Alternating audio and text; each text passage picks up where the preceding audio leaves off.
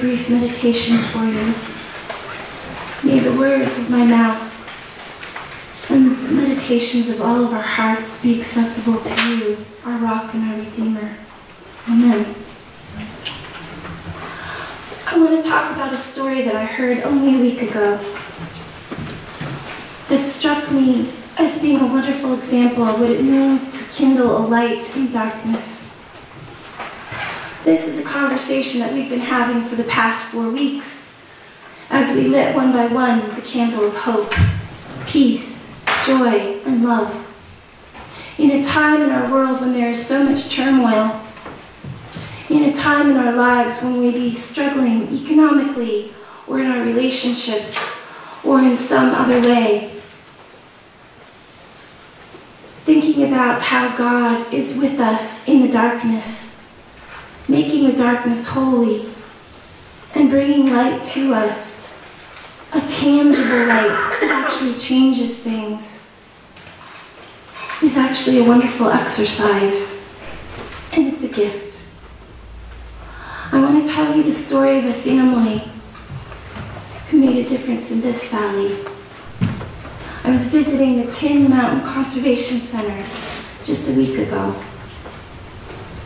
And I took a tour of the Great Hall, which is a beautiful structure, part of a wonderful building that is green and sustainable and focused on an amazing cause, educating people about the environment right here in the Mount Washington Valley.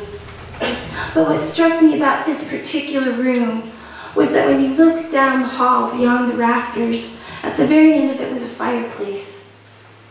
It's built of local stone. It's a big fireplace, the kind of place that you want to go warm your hands when it's cold, where you want to have huge groups of people gathered, enjoying the heat and the warmth and the flames.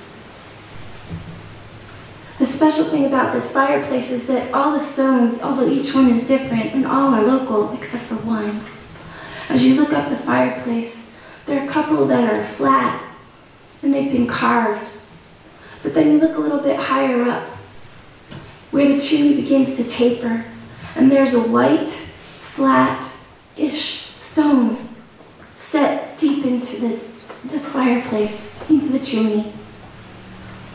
And that stone to me looked like a star shining out across the room. It was such a startlingly different color and texture from everything else. And the reason that that stone is there, standing out, is because about the time that they were building this building, there was a family connected to these communities in our valley whose son died. He was in his early 20s. They're a very active family. And they've gone camping a lot and they cared about the environment and they're connected to the Tin Mountain Conservation Center. Out of their darkness, they chose to focus on building something that would be a legacy that lived beyond their son's vital years and would change other lives as well. And so they asked to work with the mason that was building that fireplace. They helped choose the stones and design how it would be laid up, course by course and stone by stone. And they brought the white stone that stands out like a star from the place where they had gone camping together in Maine. And they set it high up in the chimney as a celebration of all the memories and times that they had shared with their son, and as a remembrance of the importance that his life held for them, and the fact that they could take this particular time and this very difficult challenge that they were living with, and they could turn it into something meaningful and beautiful that shone light, literally shone light, out into a room out into a valley, out into a world that is in need of caring about its environment and touching other lives and educating and advocating for something that they cared about. When God comes into the world and we talk about hope, peace, joy, and love. Listen to the words tonight. Know that you are shaped, you are formed in the image of God, loved just as you are, and that you are children of light.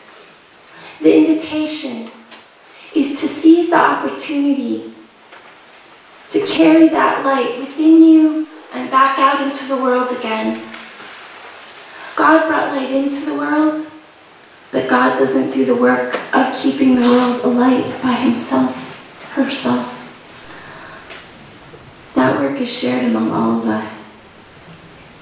So tonight, listen to the scriptures and the words that are shared with you, and know that the promise of each of these lights that we set aflame is tangible and real. It has expectations for how this world can change and be shaped by each one of us because we are each the hands and feet, the heart and mind of God. And when we look into each other's faces, we are seeing children of light who have the possibility of changing one life and carrying one light.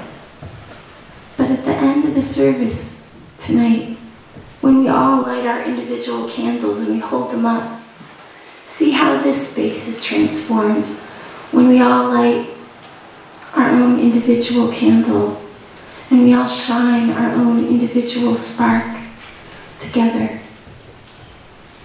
That is the invitation of Advent. That is the invitation of God's arrival in the world and God's presence with us, transforming us and transforming our world. Thanks be to God.